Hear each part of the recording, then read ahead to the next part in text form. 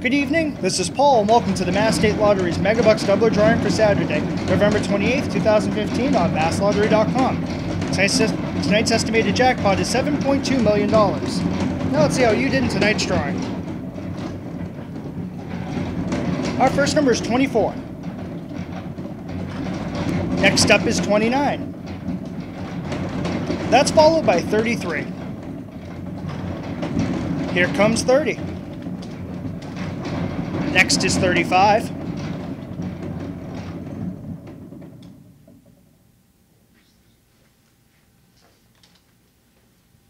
And finally, 4. Once again, the winning Megabucks Doubler numbers for Saturday, November 28th, are 4, 24, 29, 30, 33, and 35. Remember to log on to masslottery.com, Facebook, and Twitter to watch all the Mass State Lottery drawings. Good night.